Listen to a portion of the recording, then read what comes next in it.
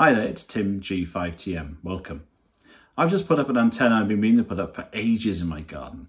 And uh, this is a 40 metre dipole. Now 40 metres is a nice choice for anyone really, especially if you're new to HF, new to the hobby, and you think you're putting up your first antenna at home. 40 metres is a nice band. It's nearly always open somewhere. There's nearly always somebody on 40 metres. It's hardly ever completely closed. In the day you get some more regional contacts. In the evening, maybe some longer ones. But um, a dipole for 40 metres doesn't have to be up very high for you to enjoy good coverage for around 1,000 to 2,000 miles or so. And uh, when 40 opens, you usually get a lot of uh, short skip coming in as well. So it's a great band to choose. And the dipole is a great antenna for your first antenna, for any garden, in fact. Um, my dipole is about 3 S points quieter on on in terms of the noise floor than, than the vertical would be, for example. So uh, that's one good good uh, reason to choose it as well. The other thing as well with dipoles, I've got mine as an inverted V, so that shape rather than the flat top, it's like that, which means I can squeeze it in. I've squeezed it into a basically a horizontal space, which is about half the size of the antenna itself. So what then is a 40 metre dipole? Okay, so what is an inverted V dipole? Well, you can see from the picture, it basically looks like an inverted V, funnily enough. Uh, you can see it's fed at the apex there, and the legs sort of bend down towards well towards the ground, but they shouldn't really touch the ground. The the ends of both legs, the, the bottom end, should be above head height, and I'll explain what I've done with mine in a moment.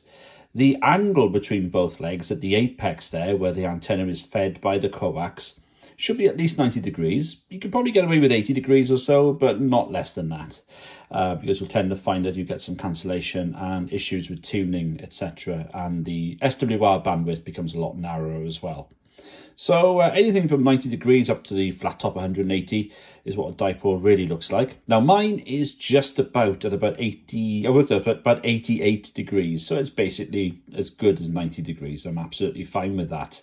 In terms of the length, well for 40 meters, we're looking at 7 megahertz of course. So for meters, it's going to be just around 20 meters for that. It's 141 divided by the frequency. And for feet, it's 468 divided by the frequency. That works out to 66 feet. So two 33 foot legs and two 10 meter legs. What are the ingredients then for this uh, this dipole? Well, the, the first thing I had to get was a dipole center and uh, something to hold the, the, the wire and connect it to the uh, to the coax itself. So I got one from a place called Ham Goodies in the UK. I'll leave a link down below. As you can see, it's this yellow um, sort of plastic they've cut, pre-cut plastic. Um, with pre-drilled holes too for I think M6 sort of uh, little bolts and nuts as well to be used and uh, they also supply with some connectors as well which you can use but you can get some of your own too that's nice and easy to use. Now, you'll also notice I've got there uh, a little balun. Now, I used a 140-43 toroid, uh, around which I wound uh, about eight turns of RG174. Um, you can see from this drawing how to do that. It's actually the middle one of the three there that I used. And that's the way I did that. And that's there just to just to hopefully prevent some common mode coming back down the coax. Um, probably best actually to weatherproof the balun. You can uh, put some self-amalgamating tape or some heat shrink on it, or you can get obviously uh, an off-the-shelf balun as well. Now I've gone for this approach because, or to keep it lightweight, because I'm using a fiberglass pole to support the center of the inverted V. The uh, pole itself is fiberglass. As I've just said, it's it's it's it's hollow it's actually from Windjammer. You get others as well. I've used the uh, the 10 meter version, but just the first eight sections, the bottom eight sections. So the top of it isn't too flimsy and strong enough to hold the, uh, the center as it is. The wire I use, by the way, the green wire, is from uh, Sotabeams. Um, really thin stuff, uh, about 26 gauge. So ideal for portable, by the way, and also for any sort of low profile wire.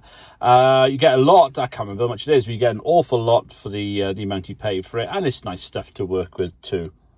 Uh, the coax I've used, as you can tell, is pretty thin as well. It's RG174.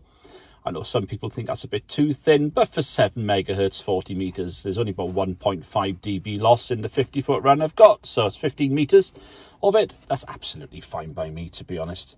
You can see it's terminated with the BNC. So I've got a BNC uh, I got an adapter to turn that uh, from BNC male to SO239 and I can just plug in any extra coax I want to on the end of that as well. So I got but literally got about a 20 centimeter run of RG58 right in the shack just to put into the back of the uh, into the radio there. Little little patch lead. Um, so there we are. That's what it looks like in terms of the ingredients. Let's see what it looks like now in terms of being up in the air. Here's the antenna up in the sky. and it's the apex of the pole, about 8 metres, about 25 feet above the ground. That leg is coming down to a pole about 3 metres off the ground, that's 10 feet, down to fence level, and then back out a little bit towards us for about a metre and a half or so to an orange insulator, which you can see there, which separates the antenna from the paracord. The paracord is tied off to the fence. And we'll go back up in a second to the other leg. That comes down to that tree. There's a pole in that tree, which we'll see in a second which is about 12 or 13 feet off the ground, about 4 metres off the ground, the top of it. There we go. Here's the pole. Look, you can just see it in the middle of that tree on the right-hand side there. And the wire coming down. And then that comes out in the same way as the other one, back out towards us a little bit. Here we go. To an insulator, which is a shed uh, roof height about 7 feet, just over 2 metres off the ground. And then tuning-wise, when we originally put it up with the two 10 meter, 33 foot legs each, about 6.8 megahertz. That was a bit long. Trimmed it twice, took 70 centimeters off both legs, just over two feet off both legs, until we eventually got a tune uh, at around, uh, here we go, 7.1 and 7.15 we'll see in the second, both at 1.5 to 1. As the antenna is so low to the ground, that's what happens with dipoles. So you might think the antenna is only 25 feet above the ground at the top, goes down to 6 feet off the ground, so that's 8 metres down to 2 metres. And think, well, that can't be a very good antenna, it's not very high. Well, the thing is, for 40 metres, 60 metres, 80 metres, and 160 metres, I mean, not many of us can get those antennas up half wavelength above the ground. Even at 40 metres, I've got to get it up 60 feet. Well, you know, which is 20 metres high, isn't it? Something like that. Well, I haven't got the space to do that. I haven't got a, I haven't got a big tree haven't got a big tower. So don't worry. I mean, the 40 metre dipole, whether it's 15, 20, 25, 30 feet above the ground. And don't forget, I've got I've got the highest point where most of the current will go out anyway. So that's that's the that's the important bit with the dipole. Get the centre part, the first half or two thirds of each leg as high in the clear as you can.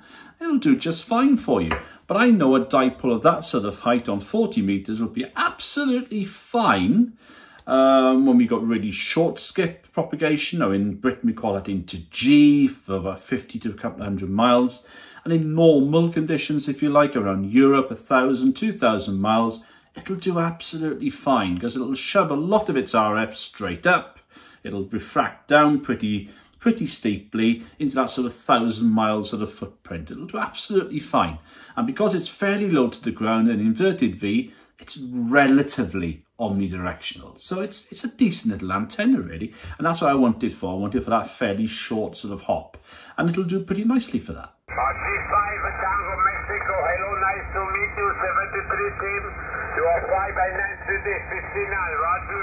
Roger, roger, also 5 by 9, 59 QSL.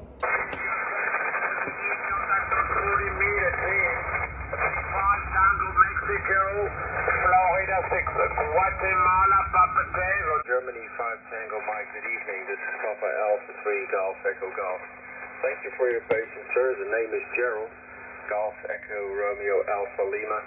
And uh, your report is uh, 5 and 9. I'm located in the eastern part of the Netherlands. Well, thank you for watching. If you want to click subscribe to the channel, by the way, then I'll put a little link here.